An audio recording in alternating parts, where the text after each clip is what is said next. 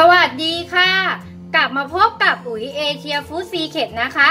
วันนี้ค่ะอุ๋ยจะมาทำน้ำพริกตาแดงนะคะ เรามาทำน้ำพริกตาแดงของเรากันเลยค่ะ วันนี้นะคะอุ๋ยจะใช้พริกเม็ดใหญ่ค่ะ ให้เพื่อนนะคะนำไปล้างทำความสะอาดให้เรียบร้อยค่ะ แล้วเราก็นำไปตากแดดนะคะ สักหนึ่งแดดนะคะ นี่เลยค่ะพริกขี้หนูค่ะ นี่เช่นเดียวกันนะคะ ให้เพื่อนล้างทำความสะอาดแล้วก็นำไปตากแดด วันนี้ค่ะพริกที่อุ๋ยใช้นะคะ จะเป็นปริมาณ 100 กรัมค่ะพริกเม็ดใหญ่นะคะ 100 กรัมพริกขี้หนู 100 กรัมค่ะ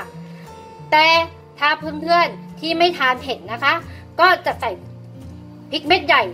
150 กรัม และพริกขี้หนู 50 กรัมค่ะ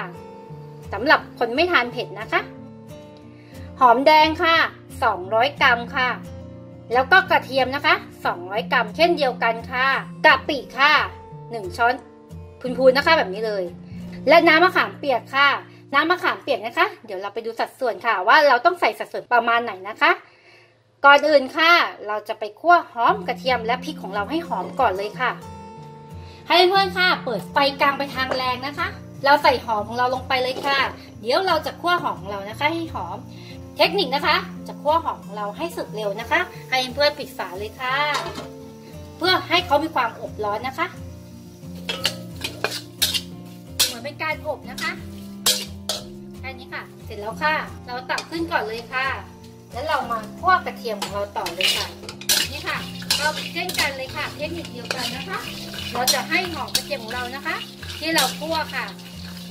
เหลืองเร็วสุกเร็วและนิ่มเร็วนะคะ เราก็ปิดฝา เหมือนเป็นการอบเขานะคะ อบไว้สักพักหนึ่งแล้วก็ค่อยเปิด แล้วเราก็คั่วต่อไปนะคะมาค่ะช่วงที่เรา รอให้หอมกระเทียมของเรานะคะคั่วเสร็จนะคะ แล้วก็เกียดเวลามาทำส่วนของพริกค่ะพริกเม็ดใหญ่นะคะ ให้เพื่อนตัดค่ะ เวลาเรานำไปคั่วนะคะ จะได้คั่วง่าย ๆค่ะถ้าเม็ดใหญ่เราก็ตัดสักประมาณห้าหกทีนะคะนี่จะได้คั่วง่าย ๆค่ะ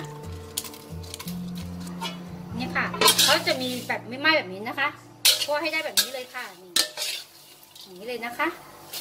จะได้หอมๆค่ะ ส่วนหนึ่งนะคะที่ทำน้ำพริกออกมาแล้วกลิ่นไม่หอมก็อย่างที่บอกบางคนคิดว่ามันจะไหม้แล้วนะคะ อย่างเงี้ยอย่างเงี้ยก็รีบเอาขึ้นนะคะเนี่ยแต่จริงๆแล้วคือเขายังเหลืองไม่เต็มที่นะคะเราจะคั่วให้เหลืองหอมเลยค่ะเสร็จแล้วค่ะ เดี๋ยวเรามาคั่วพริกก่อนนะคะคั่วพริกนะคะ ให้เพื่อนใช้ไฟกลางมาทางอ่อนค่ะ นี่นะคะพริกเม็ดใหญ่ที่เราเป็นไกตัดเรียบร้อยแล้วใส่ลงไปเลยค่ะ เทคนิคนะคะ การคั่วพริกของเรานะคะ ไม่ให้ฉุนค่ะ นี่เลยค่ะ ใส่เกลือลงไปเล็กน้อยนะคะ เวลาคั่วพริกค่ะ ให้เพื่อนใจเย็นนิดนึงนะคะ อย่างที่บอกเลยถ้าเกิดเขาไหม้นะคะ มันจะขมค่ะ เราต้องใจเย็นนะคะ ให้เป็นไฟปานกลางมาทางอ่อนค่ะ แล้วเราก็คั่วไปเลยนะคะ ให้เหลืองเลยค่ะเพื่ออย่าใช้ไฟแรงนะคะ เพราะว่าเดี๋ยวเขาจะไหม้แล้วขมค่ะ ให้เขาค่อยๆเหลืองนะคะ นี่ค่ะ เราก็ได้พริกแล้วนะคะ มาค่ะเดี๋ยวเรามาคั่วพริกขี้หนูแห้งกันเลยค่ะ เทคนิคเดิมเลยค่ะ ใส่เกลือลงไปเลยนะคะ แล้วก็คั่วเลยค่ะ เสร็จแล้วค่ะพริกแห้งเม็ดใหญ่ค่ะ ที่เราคั่วมาแล้วนะคะเขาจะมีเม็ดดำๆแบบนี้นะคะ ให้เพื่อนค่ะหาตะแกรงเป็นรูๆแบบนี้นะคะร่อนออกเลยค่ะ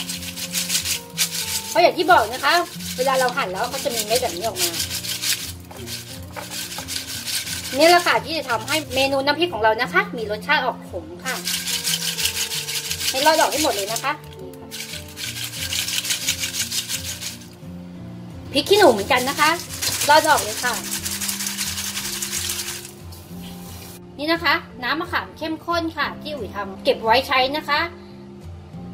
แต่กรณีที่เราต้มน้ำมะขามมาใหม่ๆเราก็ไม่ต้องอุ่นแบบอุ๋ยนะคะ เราก็สามารถนำมาทำกับข้าวได้เลยค่ะ แต่ทีนี้อุ๋ยใส่ตู้เย็นไว้นานแล้ว ก็จะมาอุ่นนะคะ เราต้องอุ่นนะคะ น้ำมะขามของเราค่ะ เวลาเรามาทำน้ำพริกนะคะ เดี๋ยวจะเก็บไว้ได้ไม่นานนะคะ ประมาณสามทัพพีทัพพีตักแกงเราแบบนี้นะคะ แล้วเราก็ใส่เกลือไปค่ะหนึ่งช้อนชานะคะ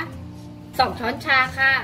เราจะใส่ไปสองช้อนชานะคะ แล้วก็ให้เพื่อนคนเลยค่ะ อย่าใช้ไฟแรงนะคะ เดี๋ยวจะไหม้ค่ะ เพราะว่าอย่างที่บอกว่ามะขามของเราอะมีความเข้มข้นอยู่แล้วนะคะ หลังจากเดือดแล้วนะคะ ให้เพื่อนปิดแก๊สเลยค่ะ เดี๋ยวเราจะตั้งน้ำมะขามของเราให้เย็นก่อนนะคะ ในกรณีที่เพื่อนๆทำน้อยนะคะ พูดง่ายเลยค่ะว่าลดสัดส่วนของอุ๋ยลงนะคะ เวลาทำนะคะ เราจะใช้โคกตำง่ายๆเลยค่ะ แล้วก็ใส่แค่กระเทียมนะคะ แล้วก็หอมค่ะ ลงไปตำเลยนะคะ แล้วก็เป็นพริกขี้หนูค่ะ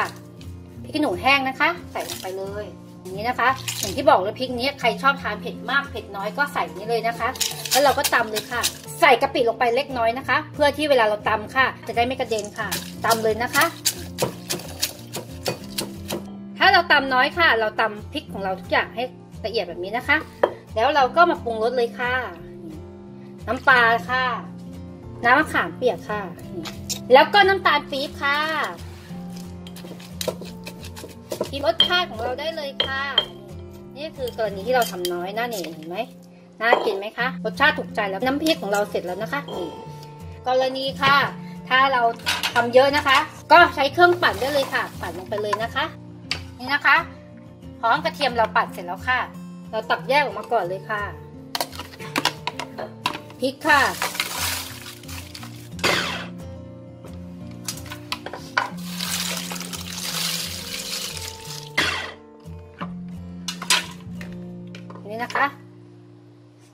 อียดแล้วนะคะแบบนี้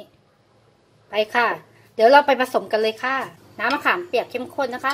ใส่ลงไปเลยค่ะ พอเราต้มมาแล้วนะคะ ก็ประมาณสองช้อนเลยนะคะนี่ใส่ไปเลยค่ะ แล้วก็น้ำปลาค่ะ นี่นะคะใส่ไปก่อนค่ะหนึ่งช้อน และน้ำตาลปี๊บค่ะกะปิค่ะ หนึ่งช้อนนี่นะคะเป็นพูเลย แล้วก็เขาส่วนผสมทุกอย่างให้เข้ากันเลยค่ะ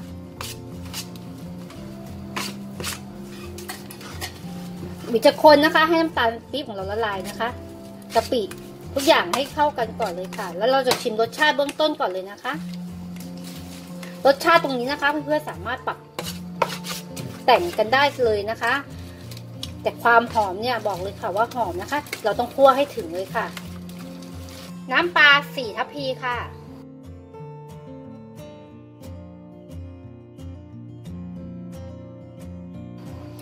น้ำตาลปี๊บค่ะสองทัพพีนะคะพูดง่ายๆค่ะ เพื่อนๆชิมรสชาติดูมันจะออกเค็มอมหวานนะคะ แล้วเราก็ชิมรสชาติเลยค่ะ เราก็มาใส่นี่เลยค่ะ หอมกระเทียมค่ะลงไปเลย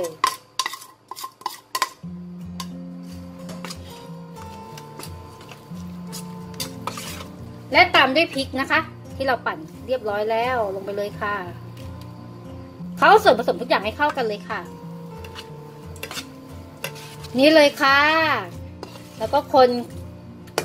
เคล้าให้เขาเข้ากันแบบนี้แล้วนะคะ เราก็จะได้น้ำพริกตาแดงแบบนี้เลยค่ะ บอกเลยค่ะว่าหอมจริงนะคะพริกที่เราทำเอง ไปค่ะ เดี๋ยวเราไปจัดจานเสิร์ฟพร้อมกันเลยค่ะสำหรับน้ำพริกตาแดงของวิก็เสร็จแล้วนะคะ ถ้าชอบคลิปนี้ ฝากติดตามช่อง Asia Food Secret ฝากกดไลค์ กดแชร์ กด subscribe ให้ด้วยนะคะสำหรับวันนี้วิลาไปก่อนค่ะ สวัสดีค่ะ